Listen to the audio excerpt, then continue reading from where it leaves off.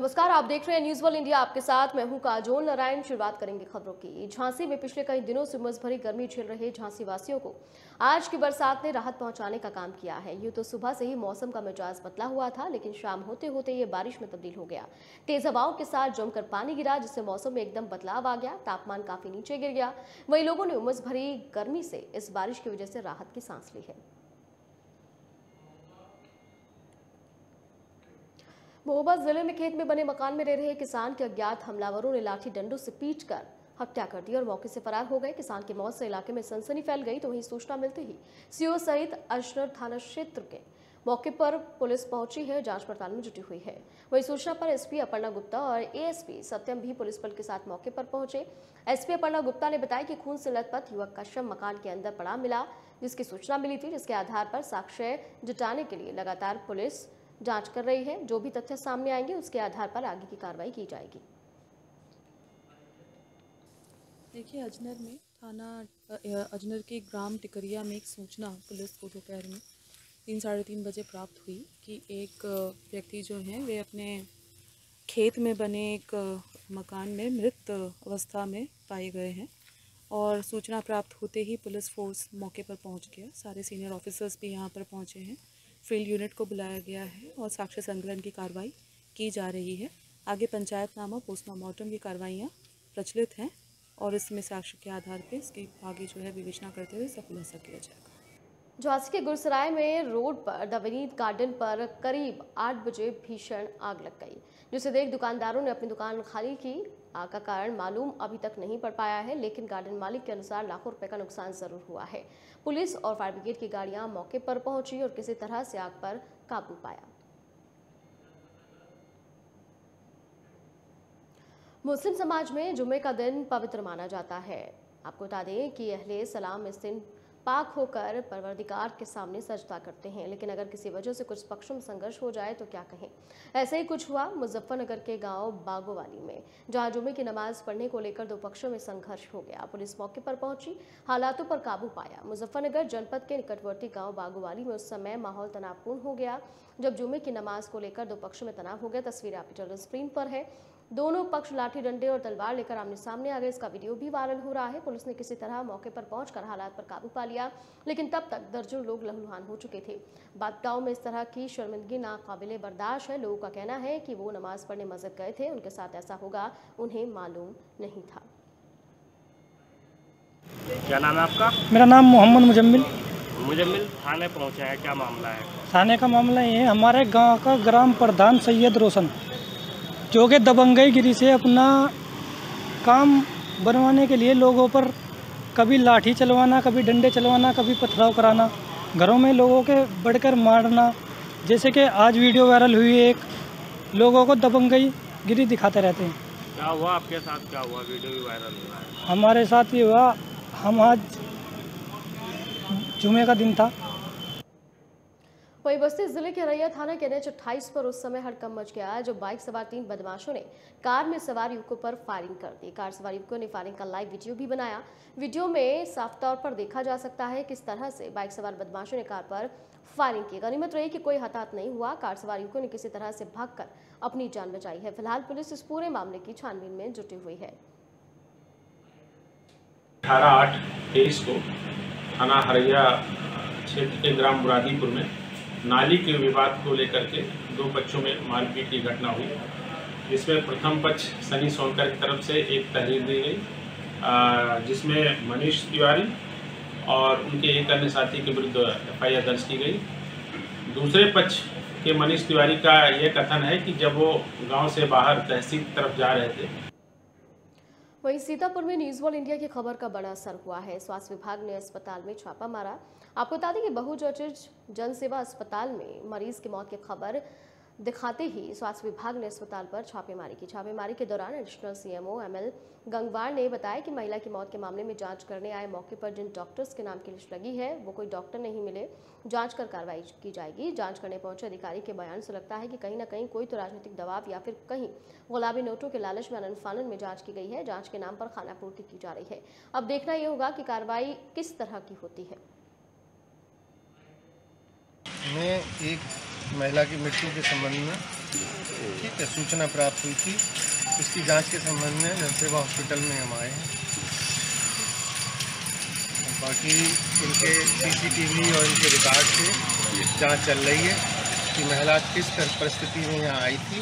वो बाकी प्रक्रिया हम जाँच के बाद आपको विस्तृत जानकारी सीसीटीवी में निकल कर क्या आया था? अभी हमारे पास फुटेज नहीं आए जैसे फुटेज हमारे पास उपलब्ध होंगे वहीं झांसी के आसरा सोसाइटी ने गरीब आदिवासी बच्चों को खाने की सामग्री बांटी। बच्चों ने बहुत आनंद लिया। डांस और संगीतों का साथ आसरा एनजीओ की तरफ़ से मनाया गया। आपको बता दें कि वॉलंटियर साक्षी अग्रवाल का जन्मदिन सौ के ऊपर आदिवासी बच्चों के साथ बहुत ही सादगी से मनाया गया। बच्चों को फल, समोसे, मिठाइयाँ बांटी गई हैं जिसे पाकर बच्चे बहुत खुश दिखे। इसी तरह सभी को अपना जन्मदिवस ऐसे बच्चों के साथ मनाना चाहिए, ताकि इन बच्चों को भी थोड़ी खुशियाँ मिल सके। लगातार ये एनजीओ इस तरह की अपील लोगों से कर रहा है। बांदा में मंडी समिति दारू के ठेके के सामने गोली चली है और जिससे युवक के पैर में गोली लग गई। गोली चलाने वाले युवक को कुछ युवकों ने पकड़ लिया और मंडी समिति चौक ले आए। आनंद फानन में घायल युवक को पुलिस ने जिला अस्पताल में भर्ती कराया, जहाँ पर उसका इलाज चल रहा है। मामला शहर कोतवाली अंतर्गत मंडी समिति चौकी के पास का बताया जा रहा है।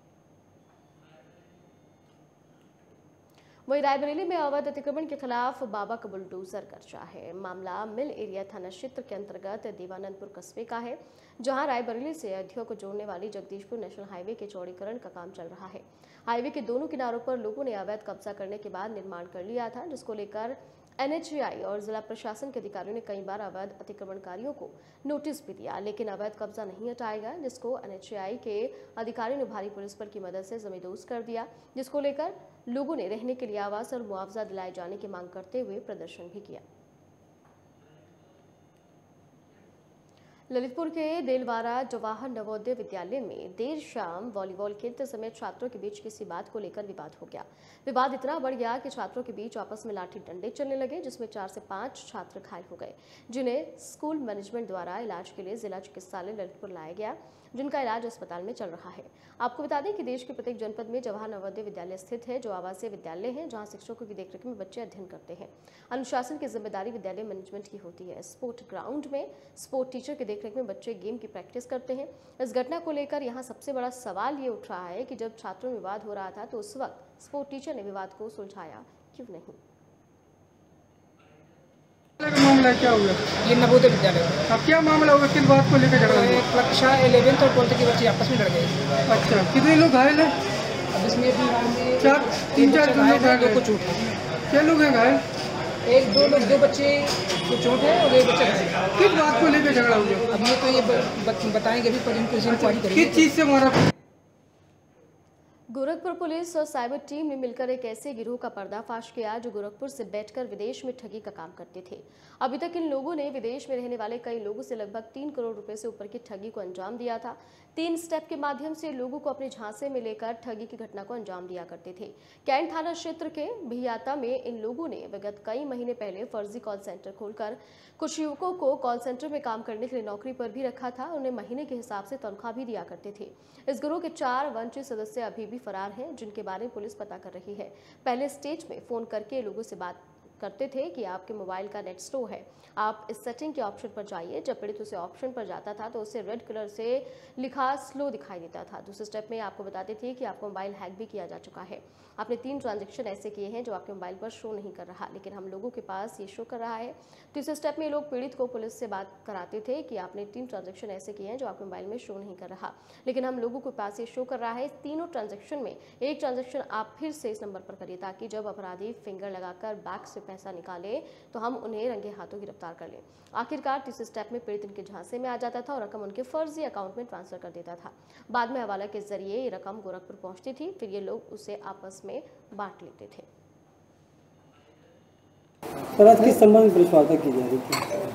देखिए गोरखपुर पुलिस और साइबर थाना गोरखपुर के नेतृत्व में एक फेक कॉल सेंटर का यहाँ पर भांडाफोड़ आज हुआ है।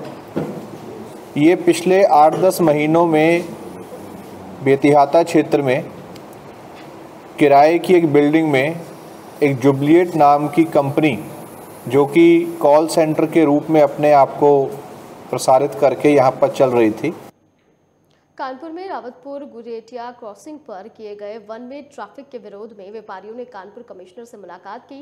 व्यापारियों का कहना था कि ट्रैफ़िक वन वे होने से व्यापार पूरी तरीके से बंद हो चुका है। अगर किसी ग्राहक को हम लोगों से खरीदारी करनी है तो कम से कम डेढ़ किलोमीटर का राउंड लेकर आना पड़ता है, जिस कारण लोग खरीदारी करने नहीं आ रहे। इस वजह से हम व्यापारियों को बहुत नुकसान हो रहा है। कानपुर प्रशासन इस मामले में कोई सुधार करे, जिससे व्यापारी वर्ग अपनी रोजी रोटी चला सके। दो तीन मामले थे। एक तो रावतपुर गुटैया क्रॉसिंग है। वहाँ पर रेव मोती से क्रॉसिंग तक वन वे ट्रैफ़िक कर दिया गया है और रिजेंसी अस्पताल से होते हुए, नरेंद्र मोहन सेतु होते हुए, अगर किसी को आना है उधर तो उधर इतना घूम करके लगभग डेढ़ किलोमीटर घूम के आना पड़ता है। और जैसे ही क्रॉसिंग से पार करिए तो देखिए दाहिने हाथ पे भी एक रास्ता बना दिया है। उससे भी उधर से लोग आ नहीं सकते। दोनों तरफ़ से रास्ता बंद है। तो वहाँ के लगभग डेढ़ सौ व्यापारी भुखमरी के कगार पर आ गए हैं, प्रभावित हैं। उनका व्यापार पूरी तरह से चौपट है। वहाँ के अध्यक्ष राजेंद्र गुप्ता जी और अन्य व्यापारी आए हैं। कानपुर पुलिस ने डकैती की योजना बनाने वाले चार मोबाइल चोरों को गिरफ़्तार किया है। एक लुटेरा अंधेर का फ़ायदा उठाकर फरार हुआ। पुलिस कमिश्नर कानपुर द्वारा अपराधियों की धरपकड़ के लिए विशेष अभियान चलाया जा रहा है, जिस पर सचिंडी पुलिस को बड़ी सफलता हाथ लगी। थाना सचिंडी पुलिस ने मोबाइल लुटेरों के गैंग का पर्दाफाश किया। वहीं अपराधियों के पास से पच्चीस मोबाइल और पाँच हज़ार और दो तमंचे दो ज़िंदा कारतूस। बारह बोर्ड नाजायज चाकू के साथ डकैती की योजना बनाते हुए थाना सचिंडी क्षेत्र से गिरफ़्तार किया गया है। सर कितने मोबाइल पकड़े गए कौन लोग बीती रात में पश्चिम जोन की शॉर्ट टीम और थाना सचिंडी के द्वारा संयुक्त रूप से कार्रवाई करते हुए चार लोगों को अप्रीहेंड किया गया जिनके कब्जे से 25 मोबाइल फ़ोन दो सीएमपी कारतूस एवं अन्य आपत्तिजनक सामग्री बरामद हुई। जब इन चारों व्यक्तियों से पूछताछ की गई तो मालूम हुआ कि ये लोग घूम घूम कर अलग अलग शहरों में चोरी करके या लोगों से छिनती करके मोबाइल फ़ोन छीनते हैं। हिंदू नेता वरुण चौधरी के निवेदन पर बागेश्वर धाम पीठाधीश्वर धीरेन्द्र शास्त्री अपने तीन दिवसीय दौरे पर नेपाल पहुँचे। इस दौरान काठमांडू एयरपोर्ट पर श्रद्धालु द्वारा उनका जोरदार स्वागत किया गया और लोगों ने नेपाल पहुँचने के बाद जय श्री राम के नारे भी लगाए, जिसके बाद उन्होंने काठमांडू स्थित पशुपतिनाथ मंदिर जाकर दर्शन और पूजन किया। पंडित धीरेन्द्र शास्त्री, नेपाल के मशहूर उद्योग हराने चौधरी ग्रुप के वरुण चौधरी के बुलावे पर अपने तीन दिवसीय दौरे पर पहुँचे हैं। यहाँ वो 19 से 21 अगस्त तक नेपाल के बुटवल नारायण घाट मार्ग पर स्थित सीजी इंडस्ट्रियल पार्क शाश्वत धाम, देवचुली में कथा करेंगे। इस कथा में लाखों की संख्या में श्रद्धालुओं के आने की उम्मीद जताई जा रही है, जिसके लिए सभी इंतज़ाम पूरे कर लिए गए हैं। नेपाल पहुँचने के बाद पंडित धीरेन्द्र शास्त्री ने अपनी कथा के दौरान कहा कि नेपाल के लोगों को अपनी भूमि पर गौरवान्वित होना चाहिए। यहाँ पर जन्म लेने वाले को अयोध्या नहीं जाना पड़ता, बल्कि अयोध्या के राम को यहाँ आना पड़ता है। नेपाल की भूमि माँ जानकी की नगरी है। नेपाल की भूमि भारत के साथ कंधे से कंधा मिलाकर पूरे विश्व में सनातन का झंडा फहराने वाला राष्ट्र है। उन्होंने कथा के दौरान नेपाल आगमन के लिए हिंदू नेता वरुण चौधरी की प्रशंसा की और कहा कि आज अगर मैं नेपाल आया हूँ तो सिर्फ़ हिंदू नेता वरुण चौधरी के निवेदन और प्रभु राम की इच्छा पर। गोरखपुर में दो दिनों तक चलने वाले फ़ोटो प्रदर्शनी के समापन समारोह के मुख्य अतिथि, दर्जा प्राप्त राज्य मंत्री पुष्पदंत जैन, महापौर डॉक्टर मंगलेश श्रीवास्तव, पुलिस अधीक्षक नगर कृष्ण बिश्नोई ने दीप प्रज्वलित कर विजयी प्रतिभागियों को पुरस्कार वितरण किए, सम्मानित किया। राजकीय बौद्ध संग्रहालय और क्लिकर्स के संयुक्त तत्वाधान में बदलते गोरखपुर से संबंधित फोटोग्राफ्स पर आधारित दो दिवसीय ट्रांसफॉर्मिंग गोरखपुर विषय पर कैमरा फ़ोटो प्रतियोगिता और प्रदर्शनी का आयोजन किया गया था। प्रदर्शनी का उद्घाटन बृहस्पतिवार को सदर सांसद रवि किशन शुक्ला द्वारा किया गया था। वहीं समापन समारोह के मुख्य अतिथि दर्जा प्राप्त राज्य मंत्री पुष्प दंत जैन ने कहा कि गोरखपुर के बदलते परिदृश्य को फ़ोटो के ज़रिए दिखाने का जो आयोजक द्वारा किया गया है, वो बेहद ही सराहनीय कार्य है। गोरखपुर जिस तरह से बदल रहा है, आने वाले दो सालों के बाद गोरखपुर की दिशा और तस्वीर जो दिखाई देगी, वो कैमरे में कैद फ़ोटो में ही प्रदर्शनी के द्वारा आने वाली पीढ़ियों को दिखाया जा सकता है कि हमारा गोरखपुर पहले कैसा था और आज कैसा है। पुरस्कार वितरण से पहले मुख्य अतिथि पुष्पन जैन, महापौर डॉक्टर मंगलेश श्रीवास्तव, एसपी कृष्ण मिश्रों ने प्रदर्शनी का अवलोकन भी किया था। ये निश्चित तौर पे ये हम लोगों के लिए बहुत अच्छा दिन होता है और विश्व फोटोग्राफी दिवस के अवसर पे कोशिश यही रहती है कि हम अपने तस्वीरों के माध्यम से दुनिया को, समाज को एक अच्छा संदेश दें। और इससे ये होता है कि आप अपनी जो भावनाओं को तस्वीरों में कैद करते हैं, उसको एक अवसर होता है मंच देने का। तो ये एग्जीबिशन इसीलिए लगाई जाती है ताकि हम अपने जो तस्वीरें जो हम सालों साल करते हैं, उसको एक मंच देकर लोगों के बीच में ले जाएँ, लोगों को जागरूक भी करें। कानपुर गुजैनी थाना क्षेत्र में 15 अगस्त को युवक की हत्या का पुलिस ने 48 घंटे में खुलासा कर दो आरोपियों को गिरफ़्तार किया है। पूरा मामला पैसे के विवाद को लेकर जज अपने साथी को सुपारी देकर हत्या कराई थी। सुपारी लेने वाले युवक ने हत्या करने से पहले मृतक को गदर फ़िल्म भी दिखाई थी। प्लान के मुताबिक जीजा ने पुलिस को अपने साले की हत्या की सूचना दी। पुलिस ने हत्या में इस्तेमाल की गई ईट और कार भी बरामद कर ली है। डीसीपी दक्षिण रविंद्र कुमार के द्वारा इस पूरे मामले का सफल खुलासा किया गया है। थाना गुजैनी पे दिनांक 16 आठ 2023 को करीब साढ़े आठ बजे यूपी 112 के माध्यम से एक सूचना मिली कि एक व्यक्ति हैं जिनकी हत्या कर दी गई है। उस सूचना पर थाना गुजैनी की फोर्स जो है तत्काल प्रभाव से जो घटनास्थल था, वहाँ पे गई। वहाँ पे जाने के बाद में घटनास्थल को देखा गया और जिनके द्वारा सूचना दी गई थी, जिनका नाम बब्बन है, वो जो मृतक व्यक्ति थे, उनके जो है बहनोई थे। पीलीभीत में तेज रफ्तार एसडीएस केमिकल से भरा टैंकर पलट गया। केमिकल से भरा टैंकर आईजीएल गोरखपुर कंपनी से आईजीएल काशीपुर कंपनी के लिए जा रहा था। आवारा पशु और बाइक सवार को बचाने के चलते तेज रफ्तार टैंकर सड़क किनारे पलटा। टैंकर पलटते ही उसमें से लगातार केमिकल बहता रहा। सूचना पर स्थानीय पुलिस और आबकारी विभाग की टीम मौके पर पहुँची। टैंकर को क्रेन की मदद से सीधा करने की कोशिश जारी है। थाना जहानाबाद इलाके के रीछा बहेड़ी तिराहा स्थित बिलाई खेड़ा के पास का ये पूरा मामला है। ताजनगरी में तीन मंजिला मकान धराशाही हो गया। आसपास के मकानों की भी दीवार गिर गई। गनीमत रही कि हादसे के दौरान कोई मकान के अंदर मौजूद नहीं था। मकान गिरने की वजह सीलन बताई जा रही है। ताजनगरी में जोजोर बिल्डिंग का मकर जाल है। जिम्मेदार जोजोर भवनों से हादसे का इंतज़ार कर रहे हैं। थाना कोतवाली क्षेत्र में यह हादसा हुआ है।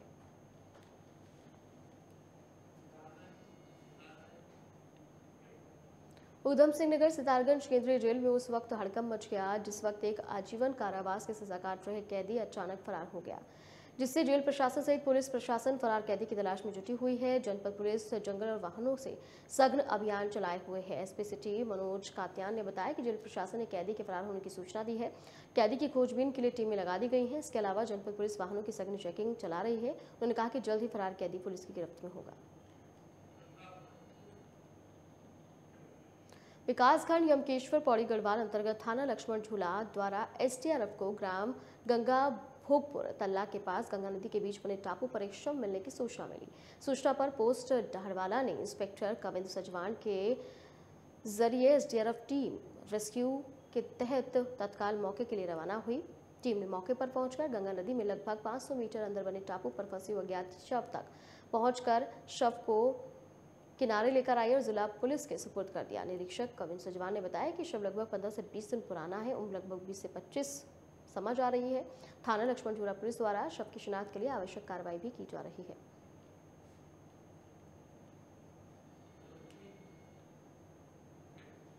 कमर्शियल निर्माण को वैध करने के लिए बकायदा नियमावली मौजूद है। अगर शहरी इलाकों का निर्माण है तो वो एचआरडीए के अधीन नक्शा पास कराकर किया जाता है, जबकि प्राधिकरण से वाहन निर्माण को नगर पंचायत से एनओसी लेना और पूरा प्रावधान करने पर निर्माण वैध होता है। लेकिन इसे अधिकारियों की लापरवाही कहें या निर्माण धारकों का दुस्साहस कि बिना एनओसी और बिना प्रक्रिया के निर्माण धड़ल्ले से जारी है। पिरान कलियर नगर पंचायत क्षेत्र में धड़ल्ले से कमर्शियल निर्माण हो रहे हैं। कई जगहों पर कॉलोनियाँ भी काटी जा रही हैं। विडंबना देखिए निर्माण धारकों ने नगर पंचायत का दरवाज़ा खटखटाने तक की जहमत गवारा नहीं की। इससे भी बड़ी बात यह है कि नगर पंचायत अधिकारियों ने इस निर्माणों पर कोई और गौर नहीं किया। हालाँकि अब नगर पंचायत के अधिकारी हफ़्ते में नोटिस देने और अधिकारियों को रिपोर्ट प्रस्तुत करने की बात कह रहे हैं। नगर पंच जैसा आपने हमारे संज्ञान में डाला, पूर्व में भी लोगों ने हमारे संज्ञान में डाला है कि इसका हम चिन्हितकरण करके, सर्वे करा के, इसके हम अपने उच्च अधिकारियों को इसकी जो रिपोर्ट प्रस्तुत कर देंगे। जो भी अवैध कॉलोनियाँ बननी है, अगर ये मानक पूरा करेंगे तो एनएससी के लिए अप्लाई करेंगे, इन्होंने एन दे दी जाएगी वर्तमान में फ़िलहाल किसी के द्वारा जो एनएससी के लिए अप्लाई नहीं किया गया।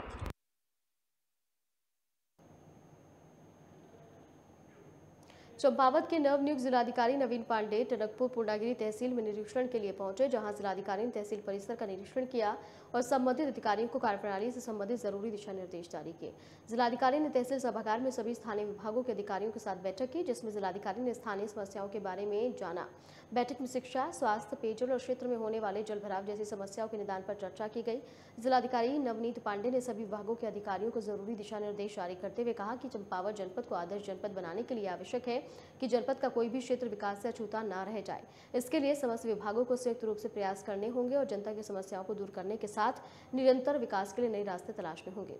जिलाधिकारी ने मीडिया को जानकारी देते हुए बताया कि बैठक में टनकपुर, पूर्णगिरी तहसील क्षेत्र में शिक्षा के प्रसार, स्वास्थ्य सुविधाओं के विकास, पेयजल की उचित व्यवस्था को स्थापित करना और क्षेत्र में होने वाले जलभराव की गंभीर समस्या को दूर करने के लिए संबंधित विभागीय अधिकारियों के साथ चर्चा की गई है और आवश्यक दिशा निर्देश भी जारी किए गए हैं।